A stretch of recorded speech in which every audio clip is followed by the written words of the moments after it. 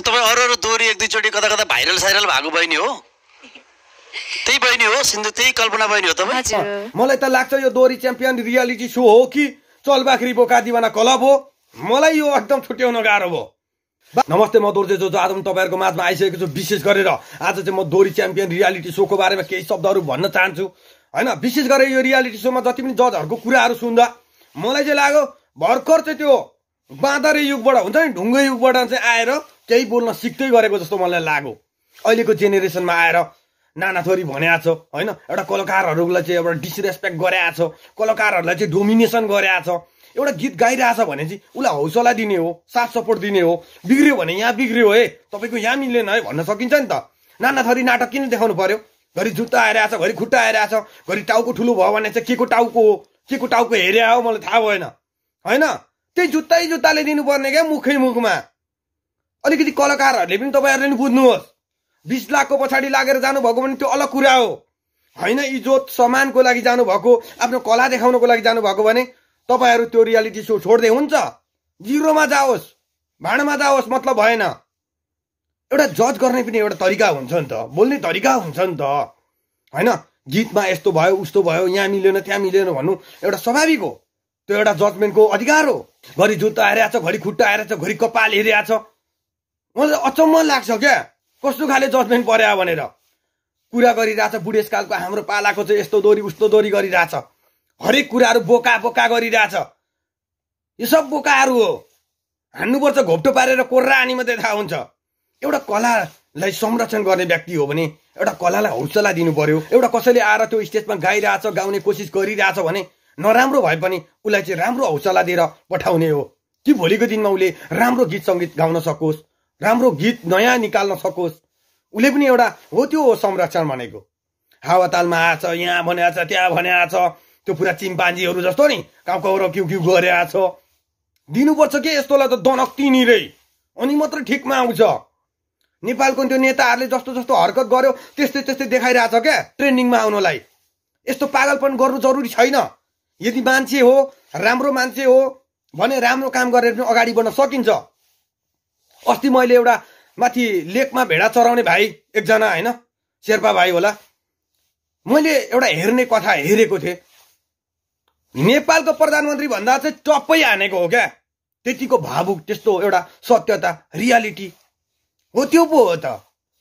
आएको छ नाना थरी विदेशीको हेरेको छ नक्कल झक्कल त्यो अनुसारको जज गरेको छ। हुन्छ। एउटा भेडा चराउने भाइले त्यस्तो भावुक बनायो कि सारा नेपाली मनहरूकोमा चाहिँ साँच्चै भिज्यो होला त्यो भाइ। मलाई लाग्छ। कुरा भनेको त्यसो ट्रुथ गर्नु पर्यो फ्याक्ट गर्नु पर्यो होइन? यस्तो भेडाहरू आएर हुन्छ जजमा? चिम्पान्जी भन्दा पनि तल्लो स्तरको गए गुर्जेको जस्तो लाग्यो। त्यो कारणले गर्दा एउटाले अर्कोलाई खुट्टा तान्ने होइन कसरी हौसला दिने कसरी साथ सपोर्ट गर्ने कसरी चाहिँ दोरीको संरक्षण गर्ने होदातिर जानु पर्यो। त्यो बौलाएर होइन र सम्पूर्ण कलाकार दाजुभाइ दिदीबहिनीहरूलाई पनि के भन्न चाहन्छु भने तपाईँहरू त्यो ठाउँ छोडेर बरु आफै गीत गाउँदै बस्नुहोस् त्यहाँ जानुभन्दा चाहिँ तपाईँहरूको इमेज झन् घटेर जान्छ। मलाई त त्यस्तो लागिसकेको छ तपाईँहरूलाई त बेकारमा डिमोटिभ भएर तपाईँहरू झुन्डिएर मराउनै सक्नुहुन्छ नि। तपाईँहरूलाई त नाना थरीको चाहिँ टेन्सनहरू आउनु थाल्छ। त्यो टेन्सन किन भोग्ने बेकारमा? बरु तपाईँहरू चुप लाएर घरमा बसेर आफ्नै गीत सङ्गीत रेकर्ड गर्दै बस्ने टक्कसँगले जाने गाउने ठाउँमा गाउने यो रियालिटी सो जानु जरुरी छैन जस्तो लाग्यो क्या।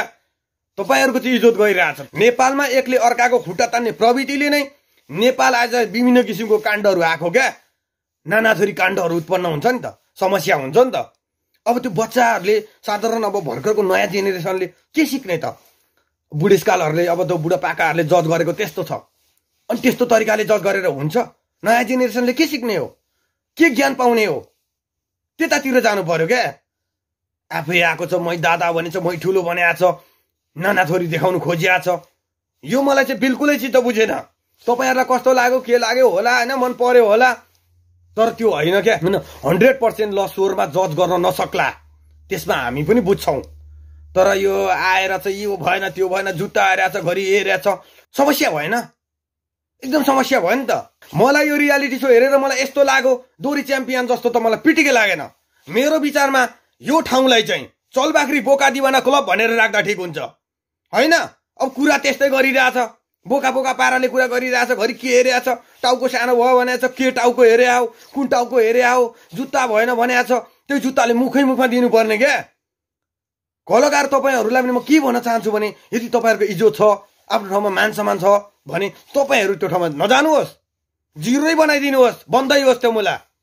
होइन? नयाँ जेनेरेसनले के सिक्ने? नयाँ कलाकारहरूले के सिक्ने? त्यस्तो बुढाबुढाहरूको बोली त्यस्तो छ। ठाडो बोली पुरै हानिदिइरहेछ हेपिरहेछ। हो यस्तो तरिकाले चाहिँ हुँदैन क्या। सङ्गीतको संरक्षण हुँदैन। मोटिभेट गर्ने त्यसरी कलाको संरक्षण हुन्छ। होइन? आफूले आउँछ भने चुप लगाएर गाएर बस्नु नि त होइन। जज गर्न आएको मान्छेमा एउटा सभ्यता छैन। बोल्ने ऊ छैन। घरि कट्टु लामो भयो भने छ घरि कट्टु छोटो भयो भने छ जुत्ता मिलेन भने छ होइन? ए तिमी भाइरल भएन अस्ति त्यो कहाँ कहाँ देखे देखे जस्तो लाग्छ। भनिसकेपछि मान्छेलाई कति प्रब्लम हुन्छ एउटा कलाकारलाई। होइन एउटा कलाकारमाथि त्यस्तो कुराहरू गर्नु भनेको त यो बिल्कुलै नराम्रो यो रियालिटी सो काम छैन। भाँडमा लगाइदिए हुन्छ। यो जजहरूलाई नि त्यो जुत्ता हेर्दैछ जुत्ताले नै ल्याम के ल्याम मुखमा दिनुपर्छ। अनि मात्रै थाहा हुन्छ। मुला होला होइन सुर तलमाथि होला नहोला त्यो आफ्नो ठाउँमा छ। त्यो हेर्नु अलग कुरा हो। होइन? त्यहाँ आएर चाहिँ दोहोरी गाउन आएको मान्छेले ऱ्याप हानेर गयो भने पनि उसलाई हौसला दिएर पठाउने हो। होइन भाइ त्यही क्षेत्रमा गर्नु होला यहाँ त्यहाँ। हुन्छ नि त। अब त्यस्तो मरी मरी छ गएर यो मिलेन चोलो मिलेन साडी मिलेन। पुरा चाहिँ यो दोहोरीको चाहिँ बुढेसकाल पाराको देखाउनु भनिरहेछ कुरा चाहिँ बोकाको बोकाको गरिरहेछ। सब यो बोकाहरू हुन्। ड्याम कि ड्याम दिएर चाहिँ घोप्टो पारेर चाहिँ हान्नुपर्छ क्या यस्तोलाई। यिनीहरूले भनेको कलाको जगेर्ना गर्ने होइन। अरूको कलाको खिल्ली उडाएर खुट्टा तानेर अझ घटाउने हो क्या। जोसँग एउटा गाउने कला छ जोसँग एउटा गाउने चाहिँ जोस छ त्यो जोस पनि घटेर जान्छ क्या। यस्तो यस्तोको हातमा पर्यो भने? त्यो कारणले गर्दा म के भन्छु भने तपाईँहरू जति पनि हुनुहुन्छ त्यहाँ रियालिटी सोमा जानुभएको पच्चिस टोली कि कतिजना हुनुहुँदो रहेछ। म चाहिँ भन्छु तपाईँहरू त्यो बिस लाख पैसाकै पछाडि लाग्नु भएको भए अलग कुरा हो। यदि तपाईँहरूले एउटा आफ्नो कलाको कदर सहित एउटा इज्जत सम्मान पाउने हिसाब छ भने त्यो छोड्दै हुन्छ। तपाईँहरू सेलेक्ट भएर गएको पनि तपाईँहरू घर फर्के हुन्छ काम छैन। यस्तो मैले बन्दै गर्दै भइहाल्यो नि त। तपाईँहरूको एउटा इज्जतको सवाल छ। होइन? हावातालमा आएछ यहाँ त्यहाँ जुत्ता मिलेन कट्टु लामो भयो घरि यो ठुलो भयो त्यो सानो भयो घरि कत्रो टाउको भने छ कस्तो कस्तो पागलहरू चाहिँ बस्छन् क्या? आजकल यिनीहरूलाई बानी परेको छ। अलिकति चर्चा परिचर्चा भयो आलोचना भयो भने हामी चाहिँ अगाडि बढ्छौँ भन्ने कुरा होला। तर त्यो सोचले होइन। मान्छे हो यदि आफ्नो इज्जत छ भने त्यस्तो काम गर्नु पर्दैन। राम्रो काम गरेर पनि अगाडि बढिन्छ। एउटा बोल्ने सभ्यता हुनु। अलिकति मान्छेको जस्तो बेहोरा गर्नु पर्यो क्या। त्यो भर्खर चाहिँ उत्पत्ति भएको त्यो चिम्पान्जी हुन्छ नि। आऊ आऊ यो यो यो। त्यो दिने होइन। अलिकति मान्छे जस्तो दिनु पर्यो सम्मान दिनु पर्यो एकले अर्कालाई सम्मान गर्नु पर्यो उसलाई हौसलाको खाँचो हुन्छ हरेक कलाकारलाई। उसलाई हौसला दिने हो। अँ यहाँ छ राम्रो। यस्तो छ। तपाईँले यहाँ गएर गर्नु होला त्यहाँ गएर नाना थोरी बोलिरहेछ। भएको नभएको पुरा बोका बोका पारा बोलिरहेछ। सुडुहरू यो चाहिँ काम छैन त्यो त्यो बोकाहरू। तिनीहरू जज छ छैन। घोप्टो पारेर कोर्रा हानेपछि ठिकमा आउँछ क्या। अर्काको कलालाई यसरी चाहिँ लत्याउनु त मिल्दैन नि त। उनीहरूको आफ्नो आफ्नो प्रेस्टिज हुन्छ कलाकारको आफ्नो आफ्नो ठाउँमा चाहिँ इज्जत होला प्रतिष्ठा होला मान सम्मान होला। त्यहाँ गएर तपाईँहरू पनि त्यो बेइज्जती हुनुभन्दा त्यो रियालिटी सो भन्दा रोकिदिए हुन्छ क्या। तपाईँहरूको हातमा छ। यस्ता पागलहरू बोल्दै गर्छन् नि भुक्दै गर्छन् नि। ल्याउँछन् नि भिरबाट बाँदर उठाएर। अनि जज गर्छन् नि। होइन तिनीहरू लायकको हो क्या। यिनीहरू भनेको बोल्ने सभ्यता चाहिन्छ। एउटा कलाकार भइसक्यो एउटा कलाकारले कलाकारलाई सम्मान गर्नुपर्छ। खुट्टा तान्ने प्रविधि गरिरहेछ हानिरहेछ मान्छेलाई चाहिँ बर्बाद गरिरहेछ। यस्तो तरिकाले हुन्छ। मैले यो फर्स्ट टाइम देख्दैछु। दोहोरी भने छ यहाँ आएको छ त्यहाँ आएको छ।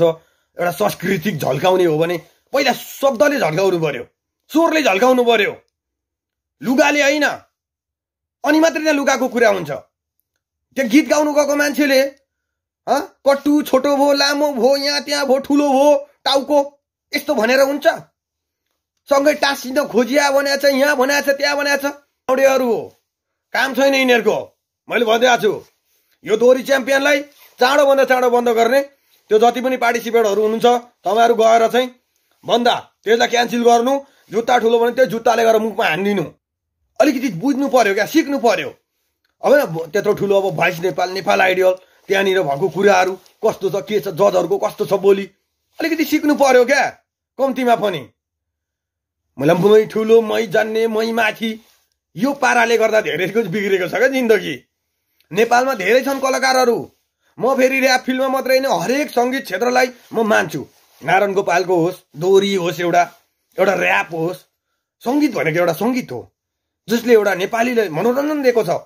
नेपालीहरूलाई खुसी बनाएको छ आनन्द बनाएको छ त्यो कारणले म हरेक सङ्गीतलाई इज्जत गर्छु सम्मान गर्छु। त्यो जज भयो भन्दैमा म माथि गएँ भन्दैमा कुर्सीमा बसेँ भन्दैमा ठुलो पल्टेर हुँदैन। राम्रो काम गरेर पनि मान्छे अगाडि बढ्न सकिन्छ। मान सम्मान पाउन सकिन्छ। त्यो पागलपन देखाउनु जरुरी छैन।